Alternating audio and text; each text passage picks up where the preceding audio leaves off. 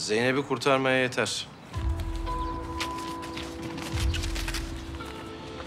Selim'in bankada Zeynep adına işlem yapan bankacısının adı var. Bir de Selim'in ıslak imzalı itirafı. Ben de sözümü tuttum.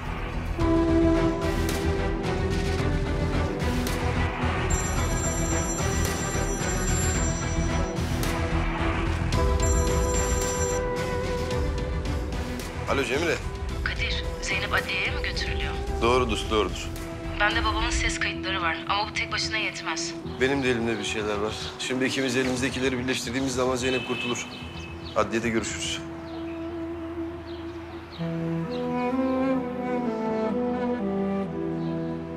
Senin bir tebessümün için var ya... Ölünür be Zeynep.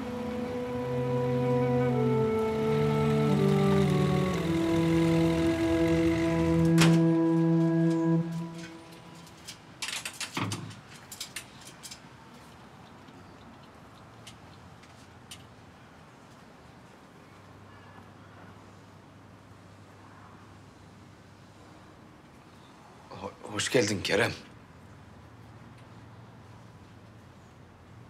Eyvallah.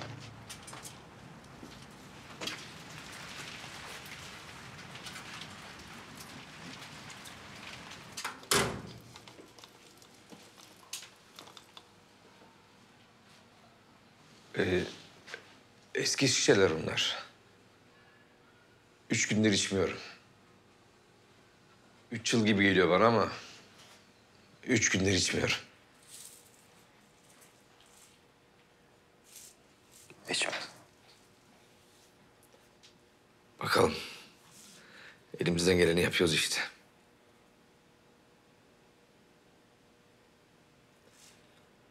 Biraz geç oldu biliyorum. Çok geç oldu. Her şeyi kaybettikten sonra. Kazanırsın belki ya belli olur? Orası belli olmaz bilemeyiz orayı.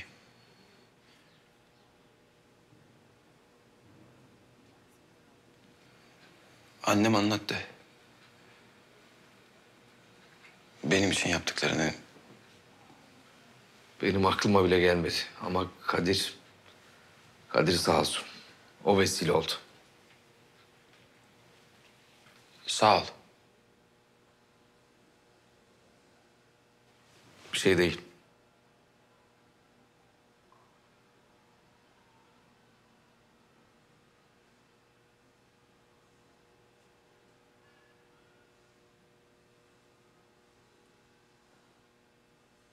Ben gideyim. Benim bir işim vardı da ben öyle bakayım dedim. Tamam. Sen bak işine.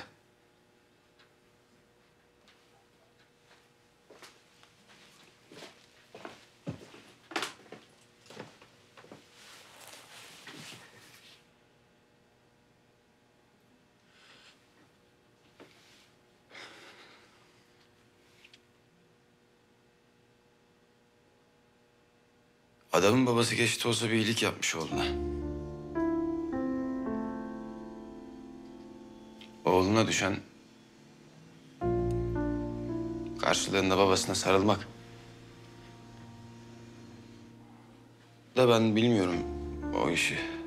Hiç tatmadım ki.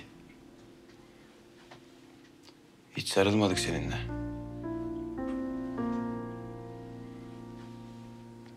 Arada bir böyle neşeli geldiğin günler olurdu eve böyle yüzün gülerdi. Ben o zamanları kollardım. İzliyordum. Gözünün içine içine bakıyordum. Böyle acaba... Acaba bana böyle bir candan böyle bir sarılıp... Aslan oğlum diye böyle gözüm diye beklerdim. Ama sarılmadın hiç bana. Bizim mahalledeki çocukların babaları öyle söylerdi onlara. Oradan biliyorum.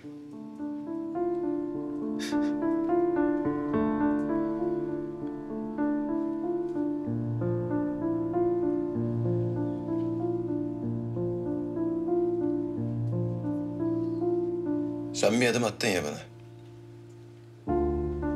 ben de sana atacağım.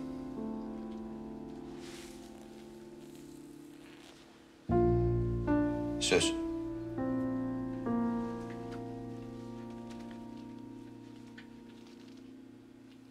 Söz baba.